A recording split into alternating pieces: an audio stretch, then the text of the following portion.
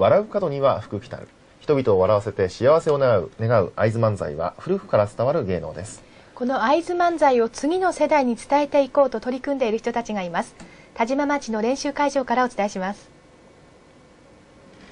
ほら、西は三十三国で、ほら、東も三十三国だ。ほら、ちょうど合わせて六という言っても掛け合いだけでなくこのように歌や踊りがある福を呼ぶ伝統芸能なんです江戸時代の初め頃農家の方が冬の出稼ぎとして始めました。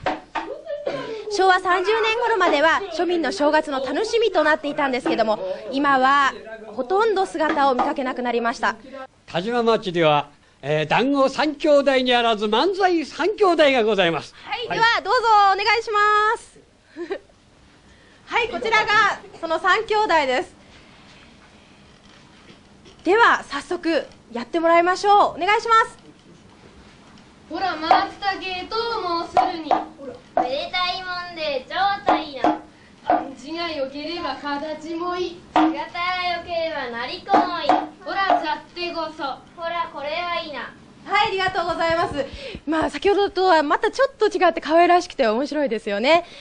え改めて紹介しましょう。まずお兄ちゃんの渡辺和樹くんです。中学1年生。そして美里ちゃん小学5年生です。そして一番下の桃子ちゃん小学校1年生です、まあ、3人はお二人の会津漫才を見て自分たちでやりたいと買って出て始めたんですよね。あの会津漫才でも一番大切な部分歌い出しの部分ちょっと見せてもらえますか？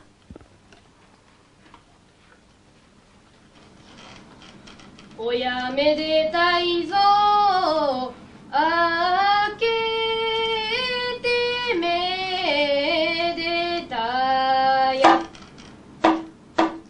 がとうございます。まあ、歌もさることながら、鼓を鳴らすのも難しいんですよね。でも、随分上手に鳴らしてまして、もしやこの突き指はこの鼓の練習で。いや違います これは何でですか？ちょっとサッカーで遊んでたら蹴られて突き指しちゃいました いつも歌の練習してるわけじゃないんですよね。はいしてません普段はどんなことしてるの？テレビゲームやバスケットボールやってます それなんですけども、その傍ら、この会津漫才も練習してるんですね。そして、美里ちゃん、随分先ほど軽やかに踊ってましたけど、もう一度やっていただけますか？はいはい。では、お願いします。お兄ちゃん、では、歌、ももこちゃんとお兄ちゃん、歌を手伝ってください。ほら松茸と申するにめでたいもんで超大な暗示が良ければ形もいい姿が良ければなりこもいいがとうございました。本当に随分こうくるくると重いのにね、上手に回してますけども、友達に会津漫才やってみてとか言われることない？あありますやってみせた。見てません どうして？うんやっぱり恥ずかしいから、あのはい、ありがとうございます。そして、こちら、ももこちゃん。ももこちゃんの得意なところはどこかしら？うん？じゃあ、お兄ちゃん、お姉ちゃん手伝ってもらおうか。はい、お願いします。おや隣で餅つく俺呼ばね何事あってもされがまねはい、ありがとうございます。このめんこさっていう可愛らしさがお客に受けてるんですね。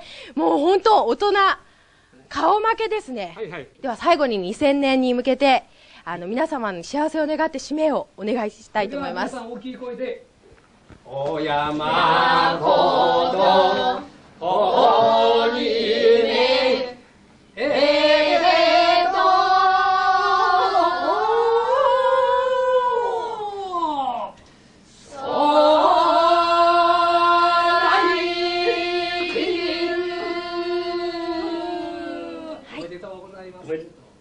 田島町から中継で会津漫才お伝えしました。はい。